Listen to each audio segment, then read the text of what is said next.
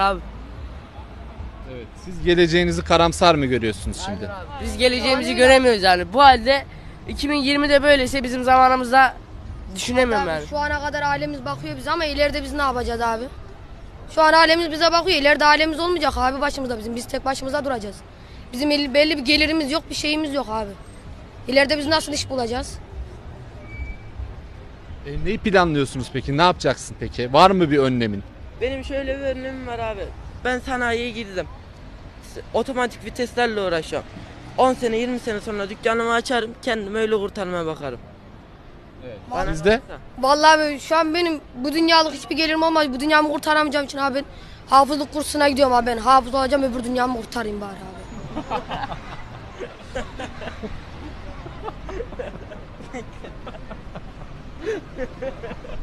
abi.